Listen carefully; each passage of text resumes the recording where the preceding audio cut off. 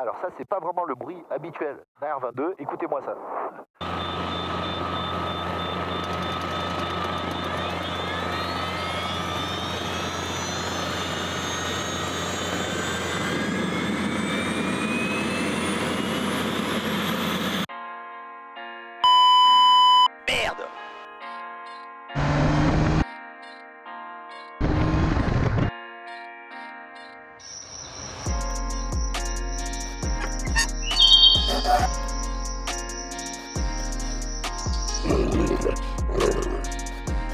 Salut Fuel, aujourd'hui je suis à Compiègne, Lima Fox Alpha Delta. Je suis avec Claude Lescure. Claude est un ancien capitaine A380 chez Air France. Il était également instructeur sur A380.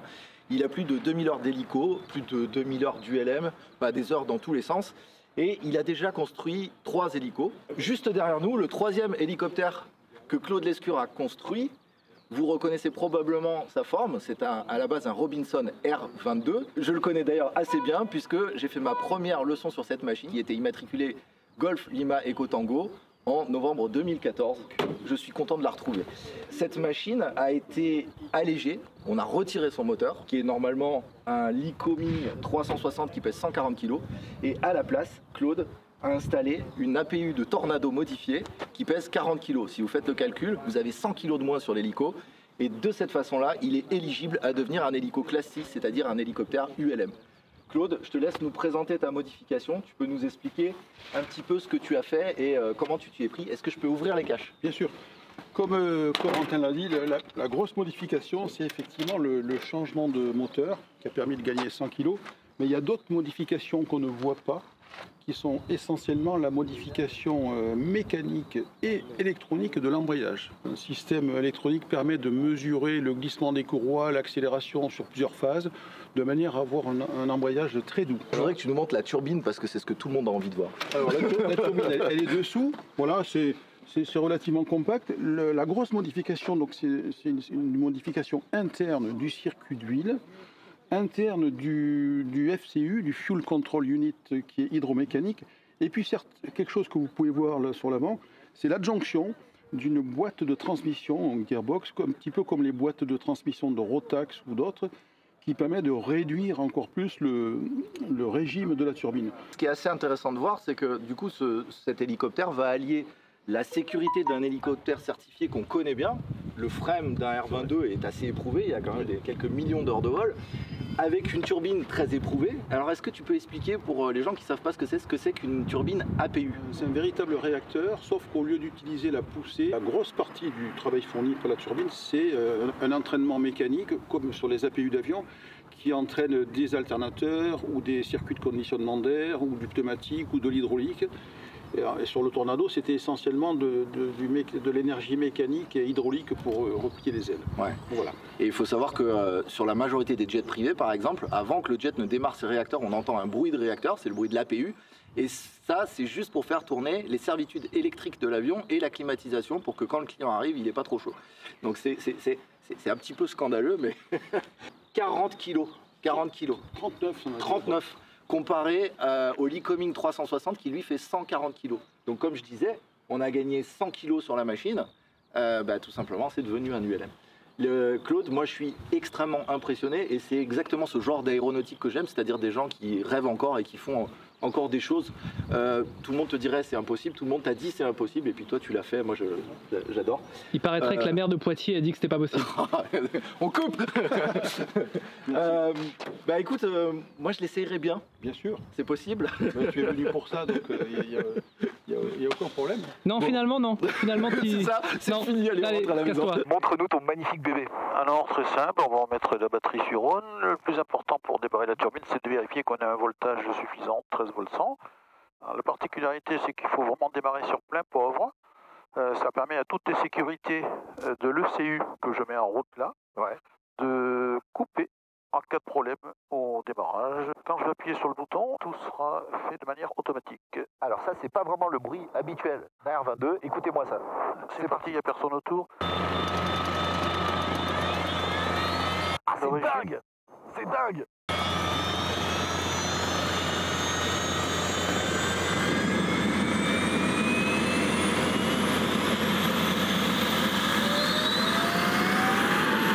a une turbine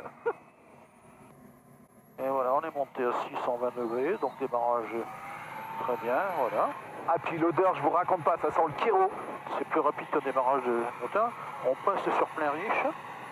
Ensuite, euh, on va euh, clutcher. Alors, on fait comme sur le R22, par contre, il se passe rien. Ouais. Et là, Et là, tu lances ton embrayage. euh, alors c'est la partie, la, la plus grosse modification que j'ai faite. Là, vous voyez, les, les pales tournent pas. Ouais. Et je mets sur on, on, et c'est parti. Ah, juste en face, vous pouvez voir euh, mon cabri avec euh, Grégoire, mon ami Grégoire aux commandes. À droite, on a euh, Mathieu avec son casque. Une fois qu'il aura fini de nous filmer et de faire les plans extérieurs, il va monter dans le cabri qui va, porte ouverte, faire tous les plans RR. Voilà, les pales vont commencer à tourner. Le système électronique l'analyse très très précisément. On est vert. Tant qu'on est vert, ça veut dire que l'accélération est normale. Le régime est analysé avec une précision infime, puisqu'on est à peine à 40 tours. Et ça se débrouille. C'est c'est très doux, c'est plus doux que sur un 22 ou sur un 44 ou même un cabri. Mais c'est dingue, j'ai l'impression d'être dans, dans- dans un écureuil là avec le bruit. Ah ben, tu vas voir, en vol, c'est un tapis volant qui bouge pas. hein. Ça fait longtemps que j'ai pas volé sur Robinson. Vous savez euh, euh, que j'ai un R44, mais malheureusement, ça fait quasiment deux ans euh, qu'il est en réparation aux États-Unis. Ici, on est sur un CL02, mais le pilotage devrait être assez proche. Bien sûr, bien à sûr. part qu'il est beaucoup plus léger, Ouais. euh, puisque c'est un ULM, je le rappelle. On est presque embrayé. Quand on sera embrayé, on montera le FCU à 100%. Et ensuite, après, on touche à rien. Et en cas de panne totale de tout ce qui est électronique, la turbine continue à fonctionner au régime nominal. C'est le régime transitoire. vous êtes en fréquence Le CL02 en fréquence C'est bon pour les images de Mathieu, donc décollage à confiance de votre côté, euh, Navon Echo. Maintenant que le clutch est éteint, on monte le régime à 100% avec ce petit bouton là. D'accord. Oh, ce bruit Ce bruit Mais c'est dingue d'être dans R22, d'avoir un bruit comme ça, j'adore. Eh bien écoute, tu vas le décoller. Euh, Allez, Corentin, je te suis aux commandes. Tu auras un petit peu de marche arrière. Par Ok, ça marche. J'enlève la, la friction. Allez, la friction, j'enlève la friction ici. Elle était déjà enlevée. Ok, ça marche. On a Tu personne vas autour. doucement, je te suis. Donc il y a une résistance aux manches qui est, qui est inhabituelle, effectivement. Et je vais y aller tout doucement pour le sentir. Ok? Ok, un peu plus de pied à gauche. Peu de manche à gauche. Et c'est parti. Parfait. Impeccable. Ok, c'est bon. Allez, 90 degrés gauche et on y va tranquillement. Allez, sécurité à gauche, c'est bon Vas-y. Sécurité à queue à droite est bonne. Et le CL02, on est prêt à translater. On va faire une translation là, si vous voulez me suivre. Décolle. C'est bon, il me suit.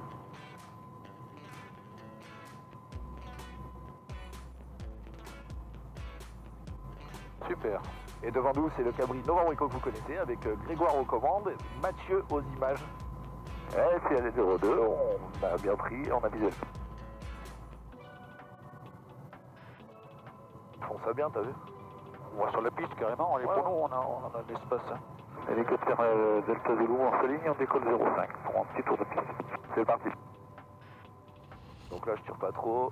Alors, j'ai, c'est où la, ma limite de puissance pour regarder, pour pas tirer trop Là, tu peux aller jusqu'au- Pardon, arrière 05. jusqu'à l'orange sans problème. On peut aller jusqu'à 630 degrés. Quelles sont tes Bah, impressions écoute, hein c'est, super doux. C'est super doux. C'est, Hein c'est super doux, il n'y a pas de vibration. Et ce bruit, j'ai l'impression d'être dans, dans un avion de ligne, en fait. C'est assez marrant. Ah ouais. En fait, le bruit donne une impression incroyablement ouatée. Ouais. On a l'impression, bah, vous allez l'entendre d'ailleurs, hein, vous Ah. entendez le même bruit que moi au micro. Bien sûr. Et on a l'impression d'être dans un, euh, dans, dans- dans un avion de ligne. Il est bien. Il, il vibre pas. il est- C'est un véritable hélico. quoi. C'est un hélico de un peu à gauche, encore 30 degrés gauche. Ouais. Voilà, tu vois, il y a un village en face, il y en a un autre à gauche, Ouais. et tu vises le- l'espèce de le forêt Ouais. qui se trouve à droite de, voilà, tout droit là, tout va tout droit, et je te le prendrai juste en courte finale. Donc posez les surfaces, stationnaire et retour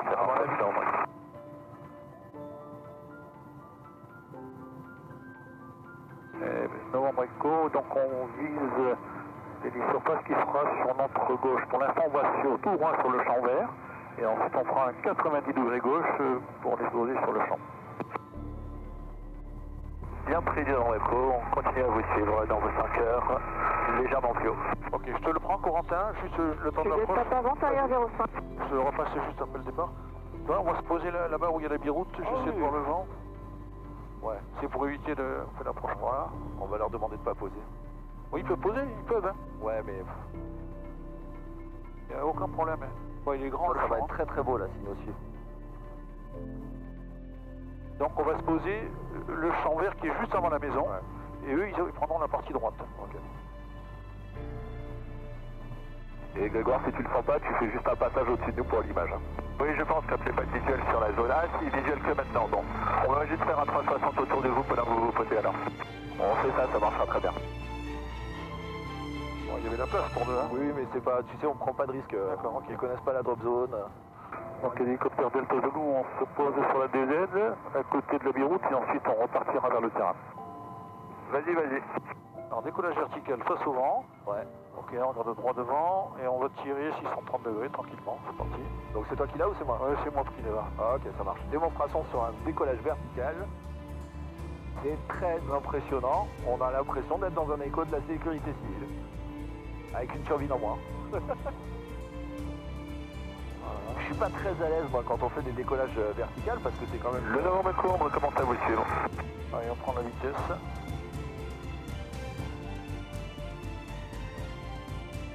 Ok, Corentin, tu peux le reprendre si tu veux. Commande à droite, Commande à droite. Virage à droite, le CL02. Virage à droite. Et j'ai visuel sur vous. C'est surtout eux qui s'espacent, on est d'accord Oui, hein c'est eux qui se passent toujours. Ils sont suivants. Bon, bah écoute, c'est très agréable à piloter. Il faudrait juste que tu aies une peu de- un peu de compensation euh, Ouais, mais ça, au c'est sol. c'est rien, c'est un petit ressort. et puis, euh, Ouais, c'est clair. Euh, déjà, j'attends d'avoir mis la nouvelle turbine qui va pousser, qui va faire gagner en, en vitesse et en, et en conso aussi. hein. Ouais. Tu peux l'accélérer un peu sur- jusqu'à 80, tu verras. Bon, comme tous les bipales, Tiens, d'ailleurs, c'est quoi la vitesse le croisière, c'est croisière. 80, 99 à peu près. Croisière à 90, Ouais. d'accord. Bah écoute, c'est pas mal. Hein. C'est très agréable. C'est très très agréable. On va s'annoncer en début de vente arrière peut-être Ouais. Delta Zulu, on arrive en début de vente arrière euh, 05, on a visuel sur l'appareil au départ, et nous sommes deux hélicos en quasi patrouille euh, vente arrière main gauche 05. Et Bon, ça se pilote, ça se prend en main très facilement. hein, vraiment. Ouais, c'est un 44, 22. euh. Et le cabri, on passe en finale et on va faire la finale sur le champ qui est à gauche du gros carré de bitume, à gauche de la piste. Bien pris, donc le cabri Novembre On passe en finale également, piste 05, euh, toujours sur votre arrière droit. Et vous avez qu'à nous suivre sur la zone où on va se poser, et comme ça on ne dérange pas l'avion. Juliette Papa, passe en base 05. Donc le cabri Novembre je vais faire ma finale du côté du champ pour laisser passer l'avion. Je rappelle son croisement. Voilà, il a bien refroidi. C'est bon. Il met toi un peu plus à gauche qu'il est de la place. Voilà, il a la place là. Ouais, je peux te montrer des endroits où on se pose à deux. Euh, Euh, je peux te dire qu'il n'y a pas la bah, nous, hier, on s'est placé entre deux hélicos à 2 millions d'euros et je peux te dire qu'on faisait gaffe. hein. Parce qu'il y avait pas, il y avait un mètre de chaque côté. Pas mal, super. Il avait qu'un bon éclairage là, en plus. Le soleil Ouais. du bon côté là. On va tourner face à eux, t'es quoi Ouais, vas-y, vas-y. Coucou, coucou. Bon bah écoutez, cette machine est très agréable. J'ai vraiment l'impression d'être sur un d'être sur un nuage. Et, et puis ce bruit de turbine, que ce soit le démarrage, le vol, la montée à la verticale, c'est incroyable. Non, on transmettra vers le regard derrière vous. 05 dégagé euh, Québec. Tu vas te garer face euh, portail blanc. Ça marche. Juliette Papa, je remonte la 05 pour le parking Aéroclub. Honnêtement, je suis pas sûr qu'on ferait ça dans un R22 à 2. Non, ah, ben ça c'est impossible. Et puis t'as de la marge. Ouais, encore. ouais, t'es à peine à 500 degrés. Ah, je Parfait, impeccable. Et derrière nous, je pense, à gauche. Vas-y. Alors donc on réduit la turbine. C'est un petit potentiomètre hein, D'accord. qui, fait, euh, qui agit sur, sur un cerveau trait. Je vais ouvrir ma On porte. cherche toujours Ah non, le, va sentir le Kiro. le point. Voilà. Voilà l'eau fuel. C'est une expérience étonnante. J'ai volé sur un hélicoptère unique, mais qui ne le restera pas parce que je pense que Claude Lescure a l'intention de construire plusieurs CL02. Il y en a déjà deux qui sont déjà en construction par des propriétaires personnels qui vont faire euh, eux-mêmes euh, deux CL2. Et je crois savoir que tu as déjà euh, 25 euh, turbines APU Oui. disponibles. Oui. Bon, bah écoute, euh, moi je, je, serais content d'aller essayer euh, les hélicoptères que les gens ont construits. Voilà, le fuel, c'est pour ce genre d'expérience que j'ai créé la chaîne, pour rencontrer des vrais passionnés d'aéronautique, euh, pour rencontrer des gens qui font des choses, des choses incroyables. Je ne sais pas si vous imaginez qu'on pouvait euh, décider du jour au lendemain de prendre un hélicoptère, d'enlever son moteur, de mettre une turbine à la place. On en a tous rêvé, peu l'ont fait. Claude Lescure l'a fait et il l'a fait avec brio parce que cette machine vole de manière assez étonnante. Alors évidemment, euh, avec le temps, comme pour tout prototype, comme pour tout hélicoptère, il y aura des améliorations, etc. Et moi, je serais très curieux de suivre euh, l'évolution de cet hélicoptère. Ça sera avec grand plaisir, Courante.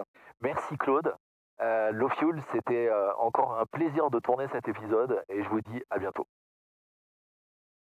Je me doute que certains d'entre vous trouveront cette vidéo un petit peu frustrante parce qu'on n'est pas allé au fond des choses, on n'a pas expliqué toutes les modifications, on n'a pas expliqué tout le fonctionnement de l'hélico. C'est normal, il aurait fallu une vidéo de plus de 4 heures tant le travail de Claude Lescure est impressionnant.